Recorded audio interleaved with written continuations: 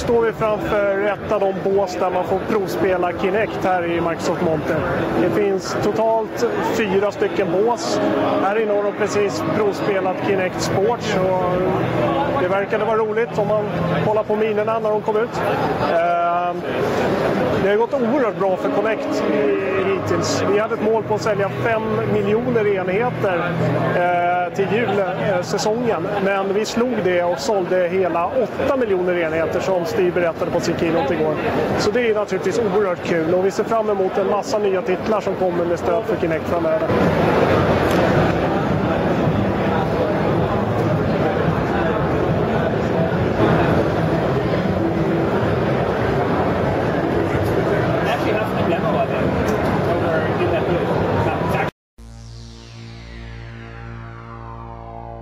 thank you